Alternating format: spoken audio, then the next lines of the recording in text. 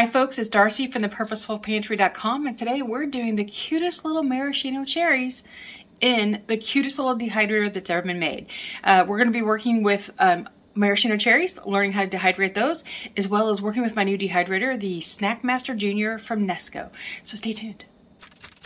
Okay, are you ready to dehydrate some maraschino cherries? We get this question a lot, so I wanted to go ahead and do one so that you could see how it works. Uh, it works exactly the same way that cherries do, except you don't have to do the prep work of pitting, uh, and it is it does have more sugar in it, so you're going to want to go ahead and make sure that you have rinsed um, all of these cherries before you use it. You can save that liquid if you want to make syrup, but make sure you rinse it. I've already done all the rinsing already because you didn't need to see me rinse, but we're going to go ahead and do these in a dehydrator. Now, we're only doing this in this new Nesco because I wanted to play with the new Nesco. This is not a sponsored post. Uh, they did not send this to me. I purchased this with my money.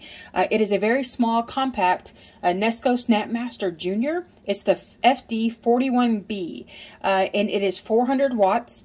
It is very small. I mean, you can see my hand size. It is very, very small. Um, and it would be perfect for people who are in RVs or campers or trailers or have tiny apartments, cabins, tiny houses. This would be perfect for my dad's tiny house because it's small enough that he could actually stick this up on top of the cabinets and it doesn't take up a, a tremendous amount of his storage space on his uh, countertop if he wanted to dry something. Now, as with all machines that are 400 watts, you have to remember that drying times will be different. When you get a range of drying time in a book or in a tutorial or my website, it's generally for the machines that are in the mid-range, like the, the 500 to 600 watts. Uh, so just know that things may take a little longer in this machine. Um, so I'm going to give you, because I've already used it uh, a number of times, um, I'm going to give you some pros and cons for it, okay? The pros for this, I'm well, let me load some trays while I'm doing it too. Well, let me show you this.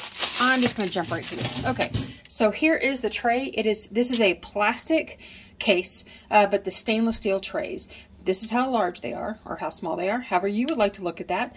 Uh, they are made for small quantities because it's a small machine for small spaces. Um, they are stainless steel trays um, that um, cannot be soaked. You don't want to soak these, uh, nor do you want to soak the little, um, like it has a drip tray on the inside that can be removed. Um, the compact size is great. The temperature here uh, is 95 to 175, which is typically different than, you don't get quite that high in most machines, or in 95 is getting hard to come by in the analog machines, but 95 on the low end is pretty normal for most machines.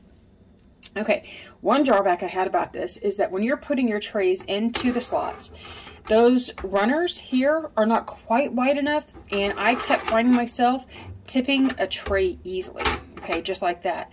And you can lose stuff pretty easily that way. So you're just going to have to be a little careful about how you put it in. They could have made those just a little bit wider uh, or made the tray a little bit wider to make that easier. But I know they were trying to give some uh, ease of putting this into your machine. Okay, so what it does not come with is any kind of liner. So there's no mesh sheets that come with this, nor um, are there fruit leather sheets. This really it, it, it's it's the price of this is $47 so that's why they keep it uh, additional things aren't added. But what you can do is just use some um, strips of parchment which is what I'm going to be using today. And no they're not pretty I just tore them because I'm not going to use them again. So strips of parchment that you can just place on the tray like this to do or you can use uh, any of the mesh or the Teflon sheets that you can get on Amazon. They're third party. Uh, they usually are less than $20 for either set, some just around 16 uh, dollars now um, that you can cut to fit this if that's an interest to you.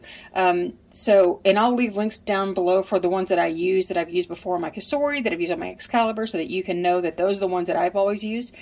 But this, this is this is how it works easily.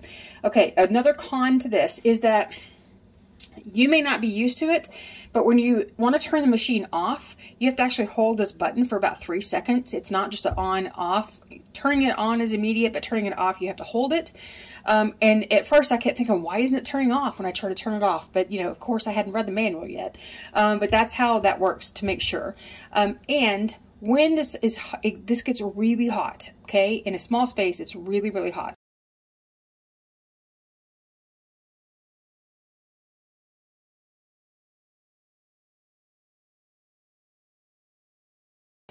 Um, so when you're touching these trays, if you've been running at 170, you're going to want to use something or just give it some time to cool off before you pull a tray out. The other thing about it is that the fan will still run on this until the internal temperature drops down to about 115 um, because it wants to cool that machine down instead of trapping the heat on the inside. So uh, know that that may, when you turn it off, it, the fan may still run for a little while, just so that you know. Okay, let's get loading some of these cherries because that's what we're here for. Not for the machine, but for the cherries. Now, what you can do is go ahead. Can you see that? Let me lower, let me adjust this down just a little bit. Sorry. you can choose to just load these just like they are. They're whole, they've been pitted, so there's there's the, the area where the pit came through. Uh, some of these may be even broken more, but what you might find to get a, a faster, better dry on this is to go ahead and cut them in half, okay? Because like I said, one of the drawbacks for this, this is not the best knife for this job. Uh, one of the drawbacks for this machine is that uh, it's a lower wattage, so it takes longer to dry. And these cherries will take longer to dry as well. But because they're not fresh, they've been canned, uh, and well, you know, in a jar, um, they they may take less time than a fresh cherry to go through because they've already been sort of processed. So we're going to go ahead and do this. It's also not a great surface to be cutting these on. But I'm going to go ahead and get a bunch of these cut for you and just go straight ahead so you don't have to watch me struggle and uh, get these ready to dry.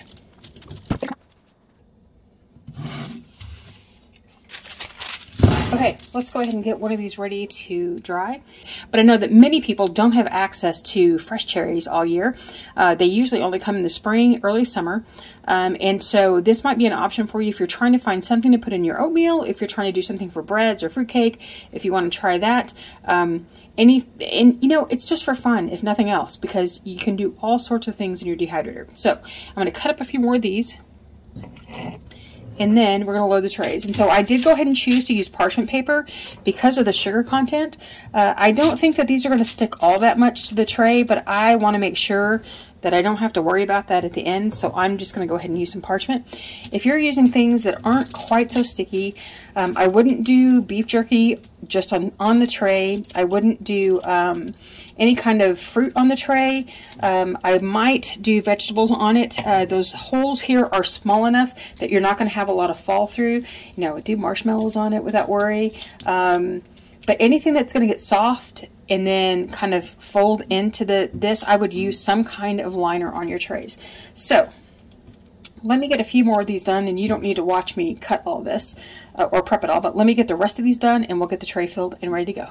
You know, while I'm cutting this, um, I'm thinking, you know, a little bit ahead about, um, you know, some of the other pros and cons for this to make sure I think about how I process. We did kale uh, the first two times, and they worked. It worked really great. I mean, it was there wasn't a problem with it at all. They, they it dried relatively quickly. It was just fine. Um, but I kept thinking that when I first saw this, I was going through Amazon and looking at, I'm sorry that you're not seeing anything happening, you're just seeing dead space, but I was looking through the Amazon list of dehydrators because I always kind of try to see if there are new ones, and I haven't done that in a while. Uh, I try to keep up on what's being newly released, um, just in case there's something that comes out that seems interesting to people. Uh, and when I saw this, I went, oh, it is so cute. Um, just because, you know, I am as practical as I am uh, with just about anything that I do, uh, I can be swayed by some cuteness. All right, let's load up the second tray. use that knife to hold it down because my my parchment is kind of, it's towards the end of the roll, so it's really bendy. Um, okay, so when you're using parchment, people always ask, is it going to cut down on the drying time? Or is it going to make the drying time worse because you're affecting the airflow? All machines, uh, at least all good machines, are engineered to have some kind of barrier because they're made for fruit leather. Uh, if you're making fruit leather, you have to have a solid tray. So what you can do, I wouldn't do it with these because the moisture, even though I've rinsed them, there's still quite a bit of, uh, of the syrupy moisture in here in the water. Um, what I would not do is um, go through, for this particular thing, but any other project that wasn't kind of weepy, that could be, I, you could go through and just punch some holes. I'll do on this one because it's just going to fall into the tray below it. You can actually slice or punch some holes in that parchment if it makes you feel better about the airflow. Um, but because this machine is running from back to front, it's going to go across that. It's not going to affect the airflow. And even on stackables, they have the center hole uh, that helps circulate the air. They have usually have uh, holes on the edges, uh, but they're engineered to have that kind of flow. And while it does come up through the trays, the main part of it will dry even if you've got a, any kind of parchment or fruit leather sheet or anything on there. So let me get this one done. All right, now for real, I'm to go ahead and just cut the rest of these, get the trays loaded, and then I'll come back to you when I'm done. Something else I forgot to mention, when you're doing fruits like this, when you're cutting it in half, it's always best to load your trays with the cut side up because you want to give every opportunity for all of that moisture to go away. So if you have a solid sheet down here and if you put them down with the cut side down, you're kind of trapping a little moisture, which will just make this take a little longer. It's not going to stop the process, but having them cut side up, best way to go. All right, so here we go with that tray back. Okay, so for this last tray, I'm going to go ahead and just do a whole cherry. Uh, I'm not going to cut them down because I want to see, want you to see the difference between how they are uh, whole versus cut. I just always do cut because it just goes so much faster. I needed to get a towel to wipe my hands, uh, and I didn't want to get a white towel. So uh, when I do cherries, I almost always cut them because we use them in stuff. We don't use them to eat on their own, and even in smaller pieces, I, I would much rather have the faster drying time than I would a whole cherry because I'm not doing the cherries to make it look good. I'm doing the cherries to store, to eat, uh, and to get it done fast. I don't want to have to wait around for a whole cherry. So to start this thing, let me get you settled again so you can see how this works. Sorry about that noise. Okay, this is right here. Oh, I'm going to do it right here. This is the standard look that it gives when you turn it on. So we're going to get it started. We're going to crank that temperature up. At this point, I am not trying to save the vitamin A and vitamin C of these. Um, I'm going to go ahead and crank this time up. It only goes up to 24 hours. I know that tomorrow I will have to reset it. Um, and these dials go all the way around. It will start on its own if you've left it for 10 seconds.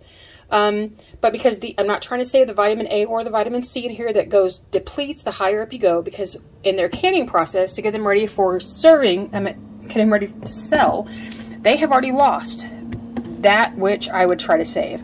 So I'm going to go ahead and dry them a little higher to get them to dry a little faster. Sorry, I'm still trying to get this to stay. All right, it's not going to. So um, this will take, like I said, anywhere from 18 to 36 plus hours depending on your machine, depending on how you cut your cherries, depending on the humidity in your home, all, depending on how tightly you pack them on your trays. All those things are going to affect the drying time of your cherries. So let's get going. On the dry time, I'll be back with you when these are done. Okay, 20 hours later. One, two, three, power off doesn't just power off. You have to actually hold it down for three seconds. Okay, so even though it's not running, that fan will stay going according to the manual until the internal temperature of this thing has dropped below 115F. So, which is, what, 35? No, that's 95 is 35. 42C, I think that is. So, what I'm to do is just go ahead and open the door. Now, when you're dehydrating anything, this is not the moment to test your food. Because what happens with most foods, is that when it's in the dryer, this is going to be warm and sticky because the heat makes sugars expand, makes everything soft, so it's not a good time to test this. However, the test piece that I took out uh, a couple of hours ago was perfect because it was allowed to dry, I mean allowed to cool off, uh, and you want to give it about 10 minutes, maybe 15, depending on your weather, all that kind of stuff. You want to give it time. These are the whole maraschino cherries. I did not cut these at all. They will be a little more pliable than your have ones, just because there's more surface, and there's, you know, the bigger gap on the inside for it to squish into and stuff. So you want to give that time. So you can still hear this running, even though I'm not, it's not actually running, but the fan is running because it's trying to cool this thing off, which is one thing about this machine that I've never seen in another machine before. There may be other dehydrators that do that, but this is the first time I've seen it, um, and I'm sure it's to help cool off because the plastic. This is not, um, it can hold on so much heat, it probably does it just to save all the components, okay? So I'm just gonna go ahead and turn this off so you don't have to listen to it. Okay, so here are our pieces. This is what they look like. totally dry. You might still see some, like the, it's all shiny, but that is from sugar. It's not from moisture. Um, we're going to give this a few minutes to dry. I mean, sorry, to warm up. I mean, to cool off. Good grief, Darcy. Um, we're going to give it some time to cool off so that we can test it then. But even holding it in my hands already, when I'm shaking them together, I'm starting to hear more of a hollow sound and clicky as they get as they get cooler. So um, I don't know if you can hear that. But the goal is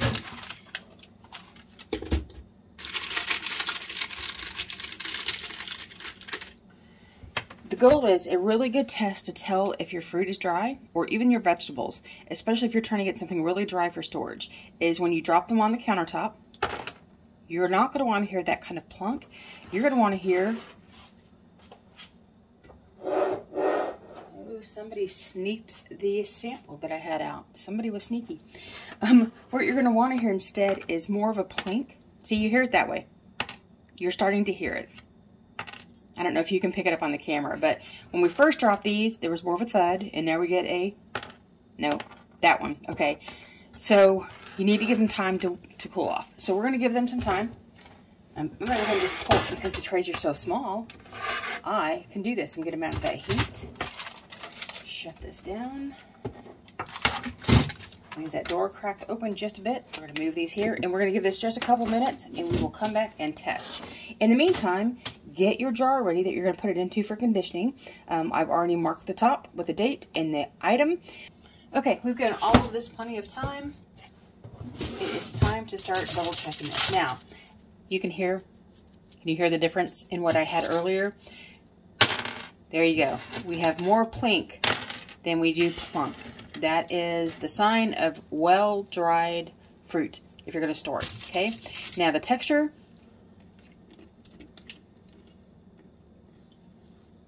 to me the texture is just like a dried cherry. It's not, granted, it's not going to be that soft, chewy stuff that you get when you buy dehydrated fruit from the store because they've added either a lot of sugar or some other chemicals to keep it soft.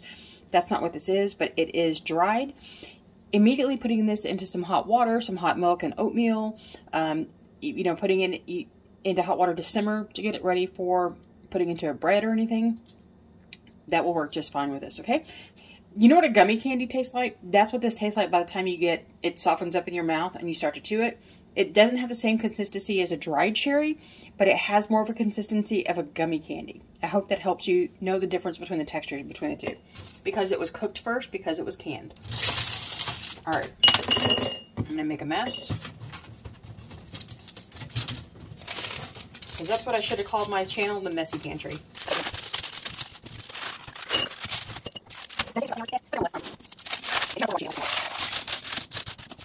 And again, the sticking here is not because they're not dry. You might even see that they're really shiny. That's the sugar.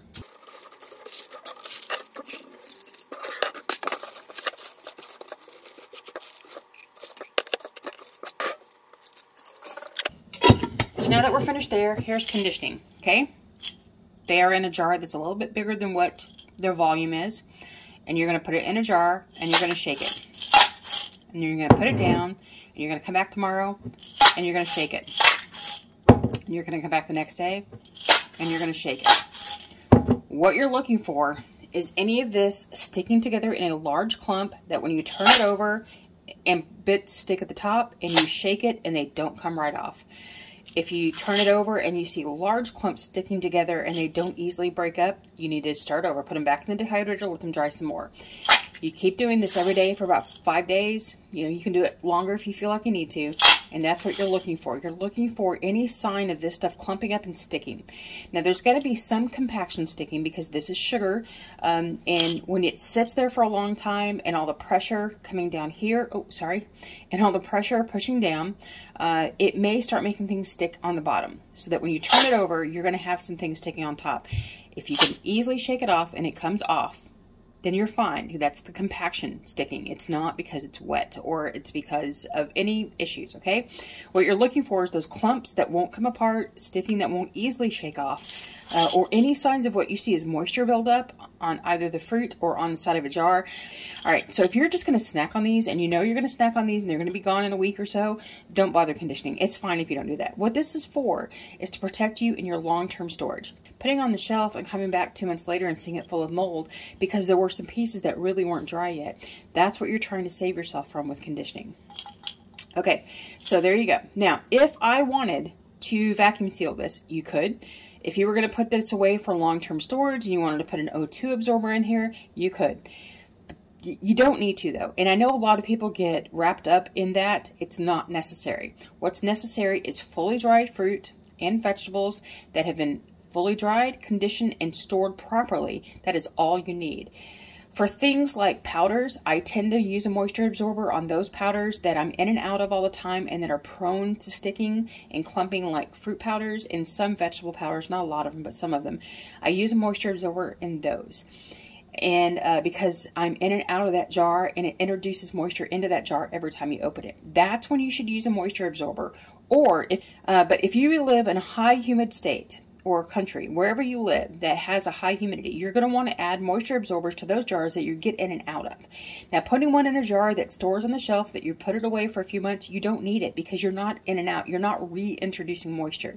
The minute you open it and use it, um, and, and if you're getting in and out, that's when it's recommended because it stops moisture buildup in jars that you get in and out of. I, I can't, how many times did we say in and out just then? I don't know. Maybe you could do a drinking game for how many times I say in and out. Okay, so that's when you need those extra additions to your jar. But you don't need super you don't need to go buy a vacuum sealer you don't need to go buy food jar, you know the food saver jar attachments you don't need to go buy a bunch of extra stuff for this um, because it's not necessary. As long as you follow proper drying and storage, you're fine. Now, that doesn't mean that you can't use them, and it can give some people a feeling of extra assurance that their food is safe, that their food is not going to spoil in the cabinet. Um, but as long as it's airtight with what you've got in it, you've got time. Okay, you're fine. So that is a maraschino cherry dried, and then our lovely, lovely, cute little Nesco uh, Snackmaster Junior dehydrator. But I just thought you guys would love to see this, uh, just to see how it works, especially for those that are in small spaces in an RV or a trailer or a tiny house like where my dad lives. This would be perfect. All right, and until I see you next time, click right here on a video on all about storing dehydrated foods. And until I see you next again next time, happy dehydrating.